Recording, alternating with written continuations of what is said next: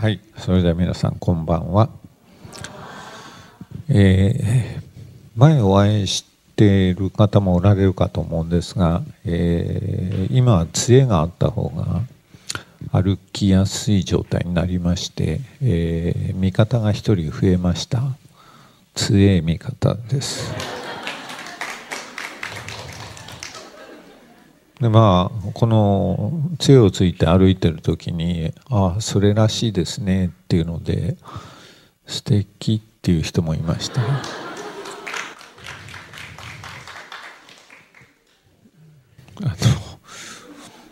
のわけわからずに来てる人もおられますか？何も知らないで来たんだけどっていう人もおられるかと思いますが、えー、大体このレベルの内容がずっと続きます。はい、えー今の2つは大体お分かりいただけたですかね、えー私の父はね栃木県なんですね。母親群馬県です。北関東の夕方の6時7時の挨拶っていうのが「こんばんは」って言わないでね「お晩でございます」って言うんです。なので広島ですけれどもちょっとその新しい挨拶の仕方をしてみようかなと思いました。では改めましておじんでございます。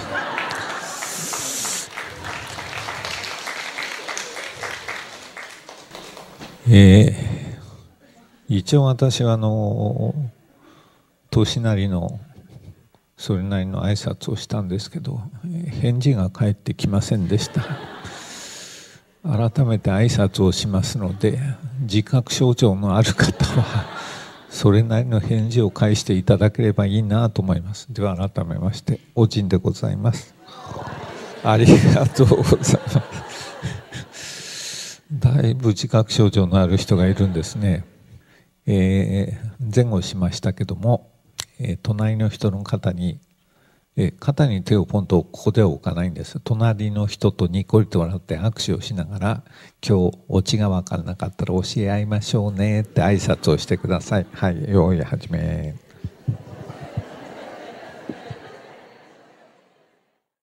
昔ねこう川がたくさん流れてるところにね橋がたくさんかかっていたわけですね。でその橋でどこそこの橋でデートをしようねっていう男と女がいてで時間が30分経っても40分経っても女が現れないもんだから男の方が帰ろうかなと思って帰り始めたらそこに女がやっと母息せきって時間に遅れて駆けつけた。男が「もうこんなに待ってないからもう帰る」で女の方が叫んだ「広島って広島って」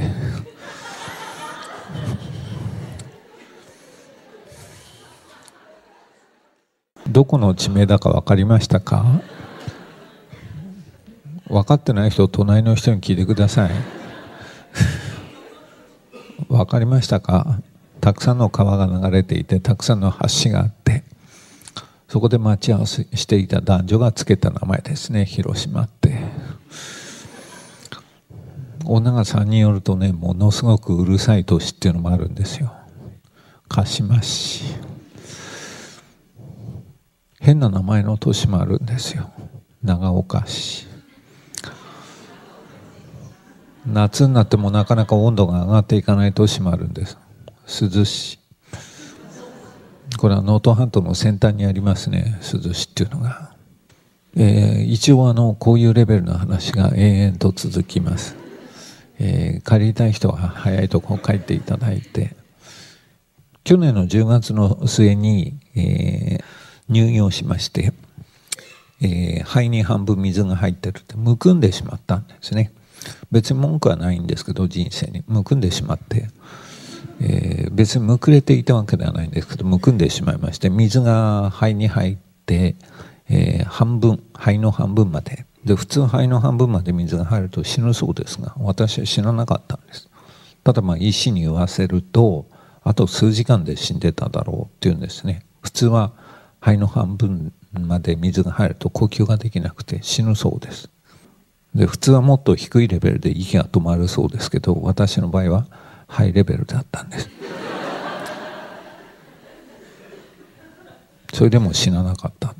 ただまあその日に講演をして明日入院って言ってたら死んでただろうって言われました。逆に言うとその死ぬ日の直前まで、えー、講演してたわけですからものすごい効率がいいですよね。それで4週間かけて水を排出しましてそれで元気になって出てきたら今度は3月の12日、えー、またちょっとむくんできましてレントゲンを取ったら今度は4分の1まで水が入っている。で3月3日から10日までの1週間で、えー、4分の1水が入ってしまったので今度はもう1週間で4分の2まで来てしまう。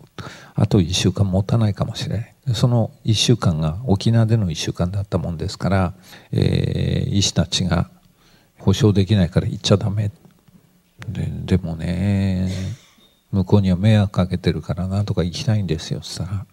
医師が「倒れたらどうするんですか?」うん、立ち上がりますよもう一回。何も答えませんでした、えー、向こうの医師としては、えー、責任が持てないから行っちゃダメっていうのでドクターストップで結局3月の12日から26日まで2回目の入院をしました。で4分の1の水が排出されまして3月26日に退院をしましたが3月26日というと今から1ヶ月ほど前ですね。退院して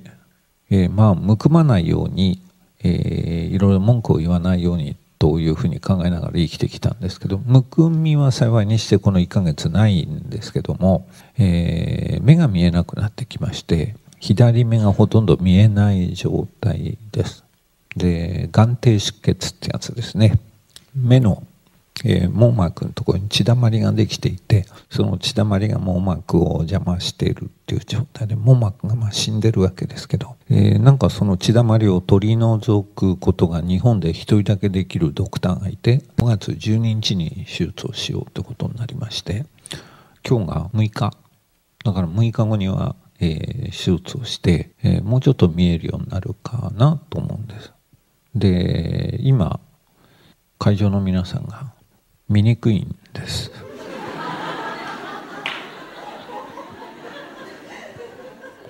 とっても見にくいんです。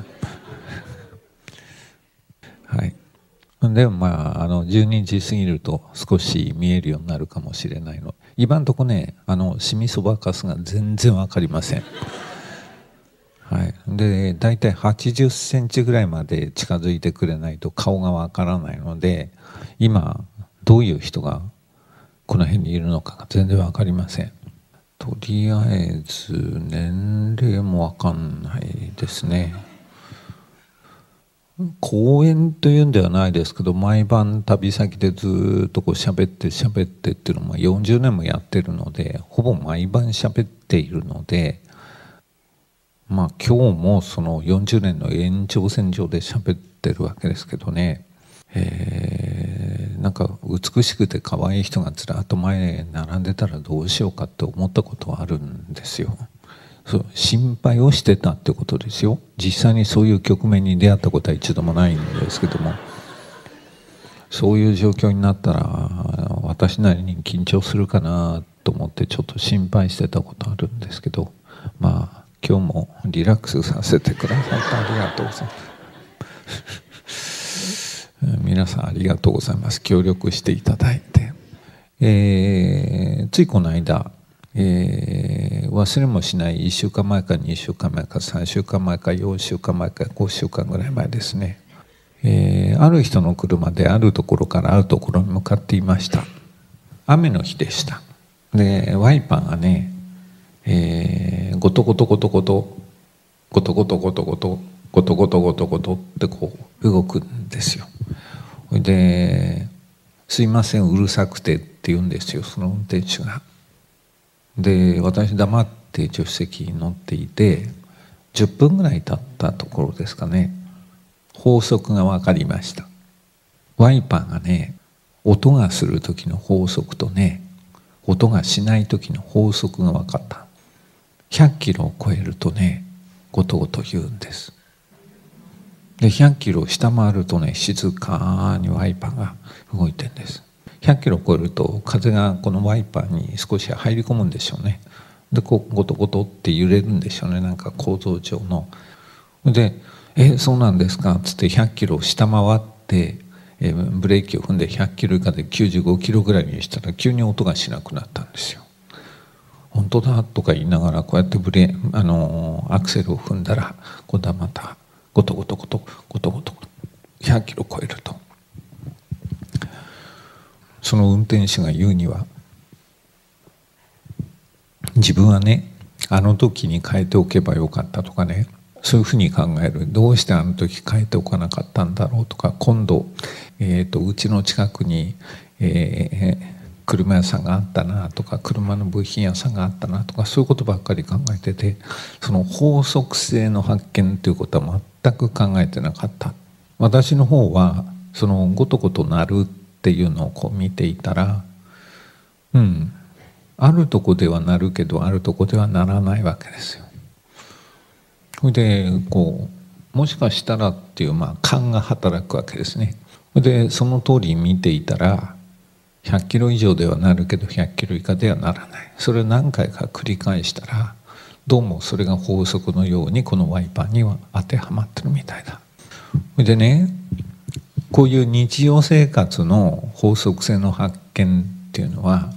あの物事を観察してるっていうのが一つなんですけどもう一つはね勘があると思います。でその勘が働くためには絶対的にね必要な条件があります。年を取ることですよ。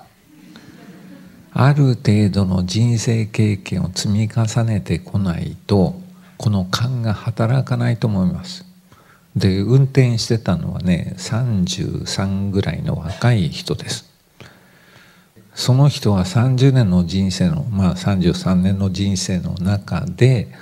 えー、どうして変えなかったんだろうとかいつ変えようかとかと思うのは当然のことなんですけど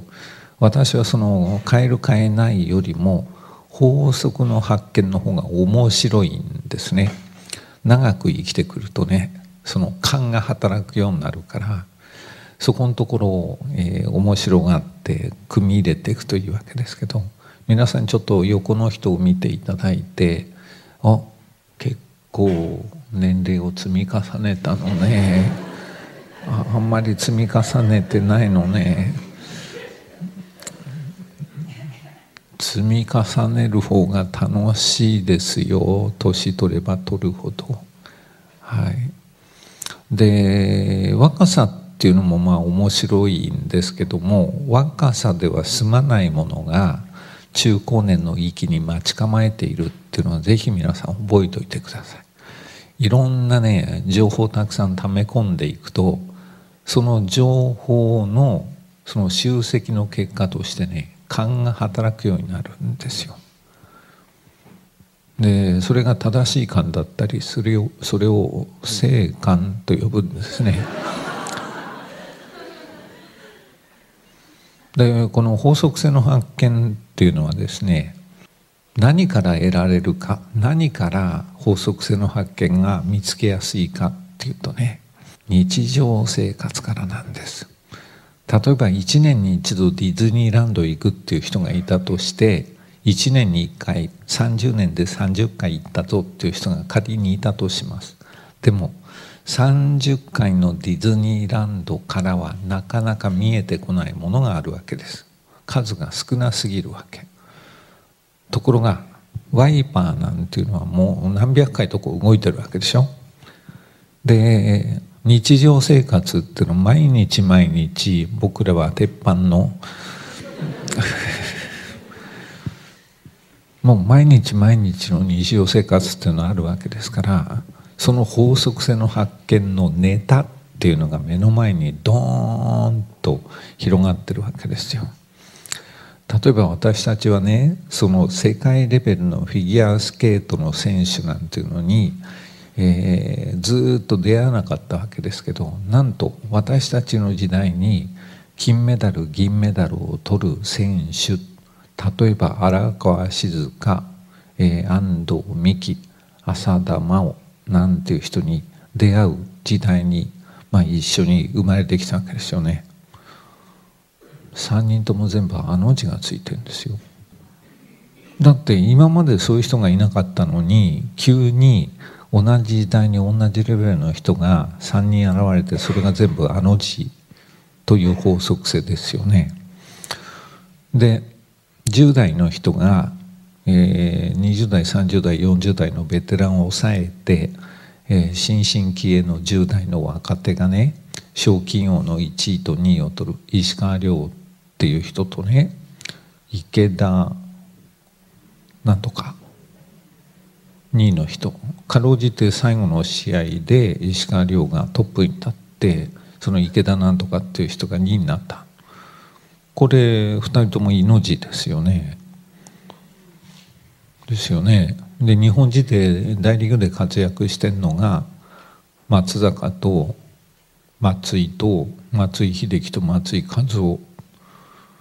松松松ですよね。おかしいと思いませんか？こういうのって。うんまあ思わなければ別にいいんですけどね。思わねえよこの野郎って言われたらそうですね。何なんだよこの野郎って言われて。うんそれはそうだけど思ったら思ったで不思議は不思議なんですよ。あの神っていうのがねいると思うんですただ神っていうのはねどうもね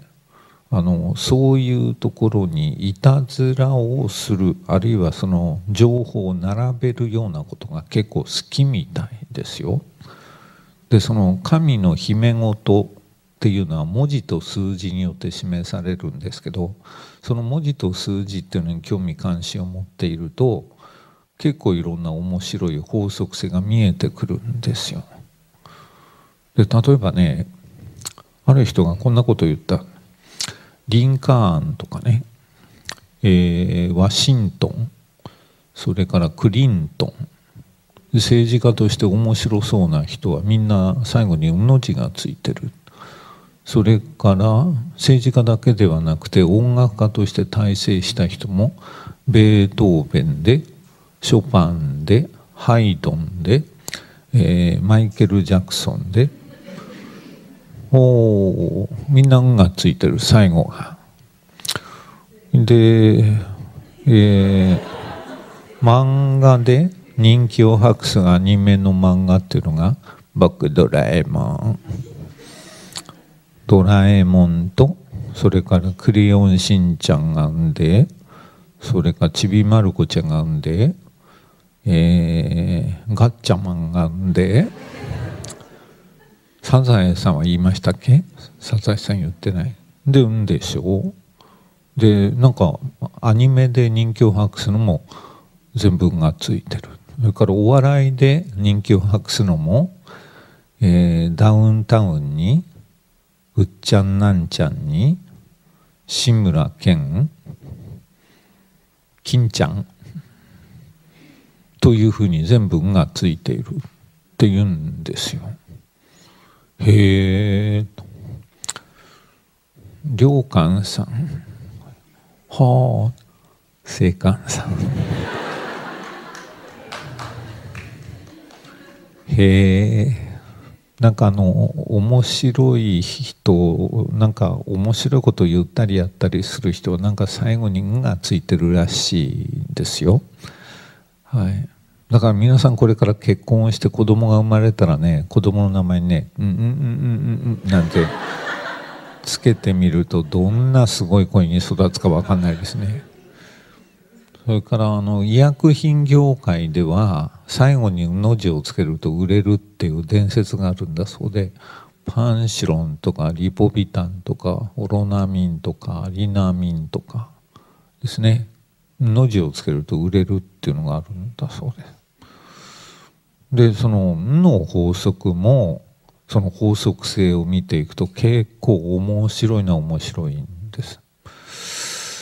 えー、だから何かお店の名前つけるんだったら「の字をこうつけてみるとかですね、えー、自分のなんか野号に「の字をつけてみるとかですね最後にですよ頭につけてもダメですよすごく言いにくいです